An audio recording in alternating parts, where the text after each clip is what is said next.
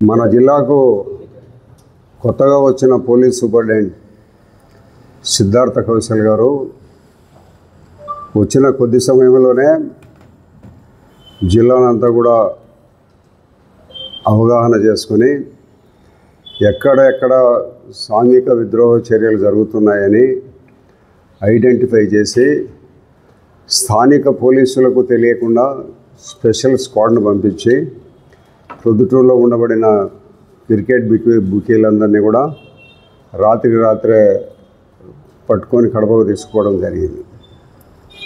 సుమారు మూడున్నర నాలుగు సంవత్సరాల నుంచి విచ్చలవిడిగా ప్రొద్దుటూరులో క్రికెట్ బెట్టింగ్ మట్కా ఇస్బెటాకుల్ గుట్కా రకరకాల సంఘ విద్రోహ చర్యలకు పాడ పాల్పడుతున్న ప్రజాప్రతినిధులు సిగ్గు తెచ్చుకోవాలి? లోకల్గా ఉండబడిన పోలీసు వాళ్ళు కూడా మరి ఇవన్నీ జరుగుతూ ఉండబడినప్పటికీ కూడా తెలిసి కూడా వారు ఏ దేనికి మరి ఉపేక్షిస్తూ ఉండబడినారో ఎందుకు మరి వాళ్ళ విద్యుక్త ధర్మాన్ని సక్రమంగా చేయలేకపోయినారని వారందరూ వారు ఒకసారి ప్రశ్నించుకోవాలి. కడప నుంచి వచ్చి స్క్వాడ్స్ వచ్చి ఎస్పీ ఆదేశాల మేరకు స్క్వాడ్స్ వచ్చి అందరినీ పట్టుకొని పోతుంటే ప్రొద్దుటూరు పోలీసులు ఏం చేసినారు? మరి మీరందరూ ఇటువంటి చర్యలకు ఒత్తాసు పలుకుతున్నారా?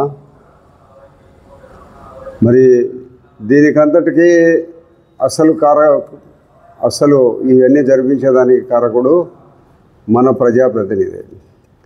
దానికి ఒత్తాసు పలికే వాళ్ళు మన అధికారులు మన పొద్దుటూరు పోలీస్ అధికారులు.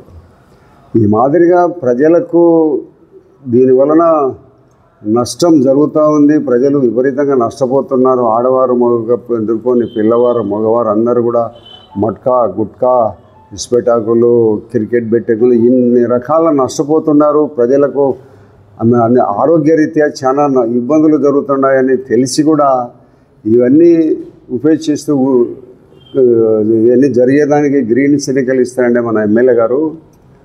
మరి ఇంతమంది క్రికెట్ బెట్టింగ్లు పొద్దుటూరులో పట్టుకొని పోయినారు. నువ్వేం చేస్తావు నువ్వు ఆడించకపోతే క్రికెట్ బెట్టింగ్లు ఇవన్నీ మట్కా గుట్కా ఇసుపెటాకులు ఇవన్నీ నువ్వు ఆడించకపోతే నువ్వు ఎన్ని రోజుల నుంచి ఏం చేస్తానేవు నువ్వు? కొత్తగా వచ్చిపోయిన ఎస్పీ గారు ఇక్కడ మూడున్నర సంవత్సరాల కాలము నాలుగు దగ్గర దగ్గర నాలుగు సంవత్సరాల కాలము పని చేసిపోయిన ఈ పాత ఎస్పీ అండదండలతో ఇవన్నీ జరుగుతూ ఉండబడిన వా వాస్తవ విషయాలు ప్రజలందరికీ తెలుసు. పాత ఎస్పీ అండదండలు మన ఎమ్మెల్యే గారి అండదండలు పుష్కలంగా ఈ క్రికెట్ బెట్టింగు మట్కా ఇసుపెటాకులు దూదము అన్ని రకాల ఈ ప్రజలకు ఇబ్బంది కలిగించే పరిస్థితులకు అన్నిటికి కూడా మన ఎమ్మెల్యే గారు ఒత్తాసుగా ఉండబడిన కారణంగా పాత పోలీసులు వాళ్ళందరినీ కానీ ప్రజెంట్లో ఉండబడిన వాళ్ళందరినీ కూడా వీళ్ళందరూ మేనేజ్ చేసి ఇవన్నీ నడుపుతున్నారు. మరి ఒక పదహైదు రోజులు ఇరవై రోజుల కిందట వచ్చిన ఎస్పీ గారికి ఇంత సమాచారాన్ని సేకరించుకొని ఆయన స్పెషల్ స్క్వాడ్ను పంపించి పొద్దుటూరులో ఈ సంఘ విద్రోహ చర్యలను మీద చర్యలు తీసుకునేందుకు ఎస్పీని మనస్ఫూర్తిగా అభినందిస్తున్నాం. భవిష్యత్తులో ఇదే ఒరవడి కొనసాగించాలా? మనం యూట్యూబ్లో వస్తూ ఉంటే చూస్తున్న విశాల్ గున్ని గారు అని ఒక గు- గుంటూరు విజయవాడలోనే ఎక్కడో ఉన్నాడు గుంటూరు రూరల్ ఎక్కడో ఉన్నాడు. రాత్రి ఇరవై నాలుగు గంటలు ఎప్పుడు ఫోన్ ఎవరన్నా చేయని స్పందిస్తాడు. మాట్లాడతాడు. ఎవరైనా కూడా వాళ్ళ యొక్క కష్టాలు మా ఎస్పీ గారికి ఫోన్ చేస్తే ఎస్పీ గారు వాళ్ళని లైన్లో పెట్టి వెంటనే సంబంధిత పోలీస్ స్టేషన్కి ఫోన్లు చేసి ఇన్స్పెక్టర్ కానీ ఎస్ఐ కానీ ఏ స్థాయి అధికారి అయినా కూడా పలానా వాళ్ళు కంప్లైంట్ ఇచ్చినారు ఏమైంది? పలానా వాళ్ళు గతంలో అమ్మాయి మీద ఏదో అంటే వాళ్ళ మీద కంప్లైంట్ ఇచ్చినారు ఏమైందని వెంటనే ఈ లైన్లో పార్టీ పెట్టుకొని అధికారిని లైన్లో పెట్టి ఈయన మాట్లాడి సమన్వయం చేసి ఎందుకు చర్యలు తీసుకోలేదు అనేది దాంట్లో ఆయనకు కనపడేటట్టు దాంట్లో తప్పు చేసినాడు ఎస్ఐ అంటే అంది స్పాట్ సస్పెన్షన్. అటువంటి ఎస్పీలను ఆ ప్రాంతంలో మనకు ఒక మంచి ఎస్పీ గారు వచ్చినారు మన యొక్క కష్టాలు చెప్పుకుంటే వినే ఎస్పీ వచ్చినాడని సంతోషపడుతున్నారు గుంటూరు ఆ ప్రాంతం అంతా కూడా. ఇప్పుడు ఎక్కడో ఉన్నాడు విజయవాడ ఎక్కడో ఉన్నాడు అనుకుంటాను. గుంటూరు రూరల్లో ఎక్కడో ఉన్నాడు. యూట్యూబ్లో చూస్తే నీకు ఎంత సిఐలు కానీ డిఎస్పీలు కానీ ఇమీడియట్గా దానికి సంబంధిత పరిస్థితిలో పనిష్మెంట్ ఇచ్చే పరిస్థితిలో ఆయన పనిచేస్తూ ఉంటే మన పాతానుపురాజన్ గారు అంతా సి సిఐలు ఎస్ఐలు అంతా దోసుకు తేయడమే. ప్రజాస్వామ్య వ్యవస్థను కొంతకాలము మనం నిలబెట్టిపోవాలా? మనతోనే ఇది అంతం కాదు. ఈ దేశం ఈ ప్రపంచం అనేది సు- సూర్యచంద్రుడు ఉన్నంత కాలము ఇది ఉంటుంది. ఈ దేశం ఉంటుంది ప్రపంచం ఉంటుంది మన భారతదేశం ఉంటుంది ఇండియా ఉంటుంది ప్రొద్దుటూరు ఉంటుంది కడప ఉంటుంది. ఇవన్నిటికి రాబోయే తరాల వానికి ఏం మనము మంచి చేసిపోతున్నాం ఏం అభివృద్ధి చేసిపోతున్నాం ఎంత మంచి వాతావరణ పరిస్థితుల్లో వాళ్ళకు కల్పించి మనం పోతున్నాం మనం ఎంచే ఎంత మరి నిజాయితీన పరిస్థితుల్లో మనం జీవించి రాబోయే తరాల వాళ్ళకు మనం ఏం సిగ్నల్స్ ఇచ్చిపోతున్నామని ఆలోచించాలి అధికారులు. మన ఎమ్మెల్యే గారికి తెలిసిన డబ్బు సంపాదించేటన్ని విద్యలు ఆంధ్రప్రదేశ్ తెలంగాణ ఏ కర్ణాటక తమిళనాడు పరిస్థితుల్లో ఎవరికి ఈయనకి తెలిసినన్ని విద్యలు ఎవరికి ఉండవు. నాకు చాలా సందర్భాల్లో చెప్తాంటాడు ఆయన.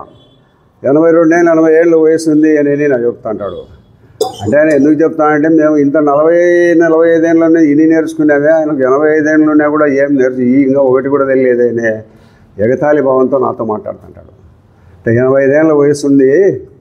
మేము ఇంత చిన్న వయసులోనే ఇన్ని రకాలైన విద్యలు నేర్చుకొని కోట్ల వేల కోట్ల రూపాయలకు అధిపతులం అవుతాడమే ఆయనకు ఎనభై ఐదేళ్ళలోనే కూడా ఏమీ ఆయన చే చేసుకోలేకున్నాడని ఎగతాళిగా మాట్లాడుతున్నాడు. నాకు వృద్ధాప్యం వచ్చింది. మనసు స్థిమితం లేక మాట్లాడతాడు అని అంటున్నాడు మరి అది వాళ్ళు వాళ్ళ విజ్ఞతకు వదిలేస్తాం దాని గురించి. ఎక్కడ ఎటువంటి రకాలైన పది సంపాదించే దానికోసము ప్రజలు దోసుకునే దానికోసం ప్రభుత్వాల నుంచి డబ్బులు ఎట్లా సంపాదించాలనే దానికోసం ఉండే ఉన్నన్ని విద్యలు వేరే జిల్లాల ఎమ్మెల్యేలు వచ్చి ఎందుగా దయచేసి నేర్చుకొని పోండి. దొంగ నోట్లతో సహా నువ్వు చేయని ఏది చేయింది ఏదన్నా ఉంది ఒకటన్నా? ఎన్ని రకాలైన అసాంఘిక కార్యక్రమాల వల్ల ప్రజలను పీడింపబడే కార్యక్రమాలు ఎన్ని ఉన్నాయో రియల్ ఎస్టేట్ మొదలుకొని దొంగ నోట్లు మొదలుకొని గుట్కా మొదలు ప్యాకెట్ల కాడ నుంచి సొంతంగా నువ్వు నీ వాళ్ళు అమ్ముతున్నారు గుట్కా ప్యాకెట్లు. కాబట్టి నేను కొత్తగా వచ్చిన ఎస్పీ గారు తక్కువ సమయంలోనే ప్రొద్దుటూరులో ఉండబడిన పాతగా పాతుకుపోయి ఈ గుట్కా ఇప్పుడు మన కౌన్సిలర్లో ఏడు మంది ఎనిమిది మంది క్రికెట్ బెట్టింగ్ మట్కాకు సంబంధించిన వాళ్ళు కౌన్సిలర్లు ఉన్నారు. వాళ్ళ ముందర ఎవరు మోస్తారు? వాళ్ళు లక్షలు ఖర్చు పెడతారు. యాభై లక్షలు ఖర్చు పెడతారు కౌన్సిల్కు. మిగతా ఏదో ప్రజాసేవ చేయాలనే ప్రతినిధి అంత ఖర్చు పెట్టేదానికి అవకాశం లేదు. కాబట్టి మొత్తము ఒకటి తప్పగా అన్ని నేను ముప్పై తొమ్మిది గెలిచినాను నలభై నేను గెలిచినాను అంట అంటాడు. ఎట్లా గెలిచినావు నువ్వు? నీ డబ్బు నువ్వు ఇచ్చే ప్రతి దాన ధర్మానికి ఇచ్చే ప్రతి పైసా రాజన్న భోజనం పెట్టే ప్రై రాసమల్లు వారి రాజన్న భోజనం పెట్టే ప్రతి పైసా క్రికెట్ బెట్టింగ్ మట్కాలకు సంబంధించిన వాళ్ళ డబ్బులే తప్పక నీ సొంతంగా సంపాదించుకొని నీ ఇంట్లోకి పోయి నీ జోబులకి పోయిన డబ్బును తిరిగి ఇచ్చే పరిస్థితి లేదు.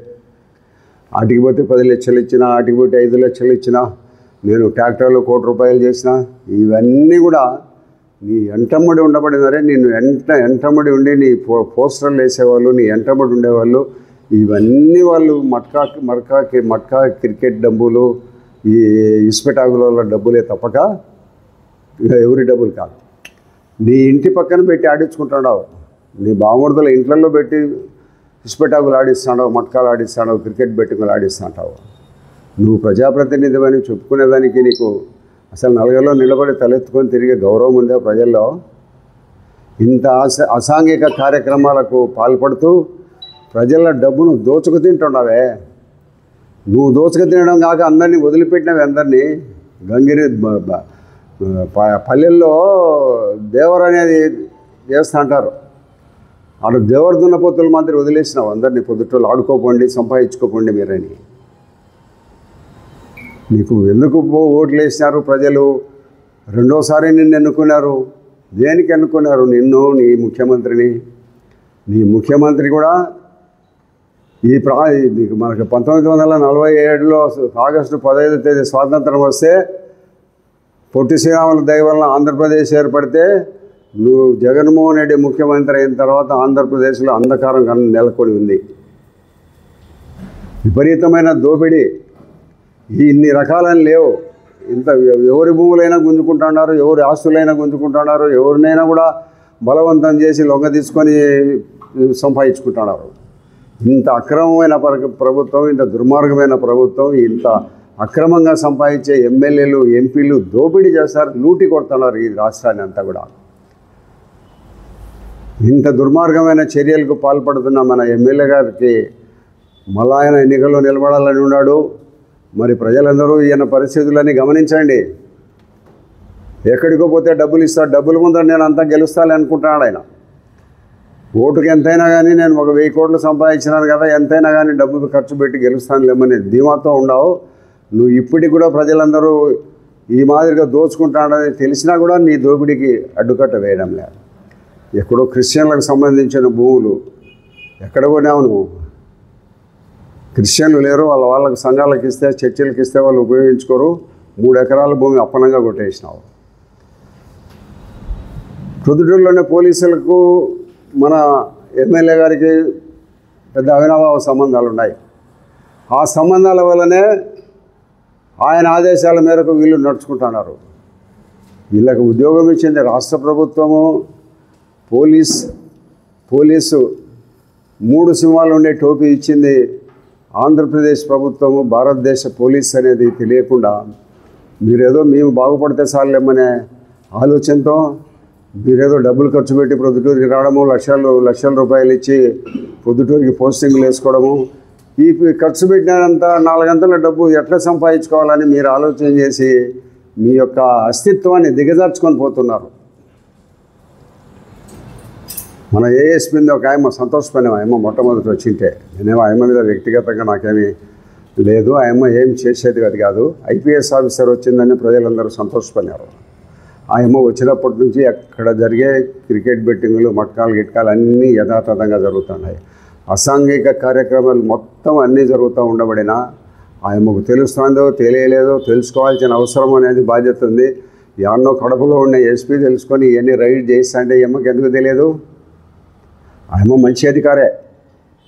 కానీ సమర్థతను ప్రజలకు ఉపయోగించుని సమర్థతను ఈ IPS Indian nation Indian police service భారతదేశంలో ఎక్కడైనా నువ్వు పనిచేసేదానికి ఉంది. కొంతమంది అధికారులకు రాష్ట్రాన్ని దాటిపోయేదానికి హద్దులు ఉండవు.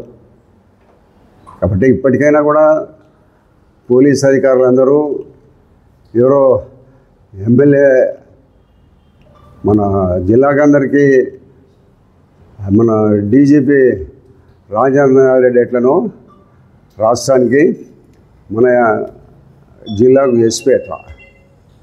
మన ఎస్పీ గిస్పీ అందరినీ ఏమనుకోకుండా ఈ మన ఎమ్మెల్యే గారు వీళ్ళకి బాస్ అయిపోయినాడు.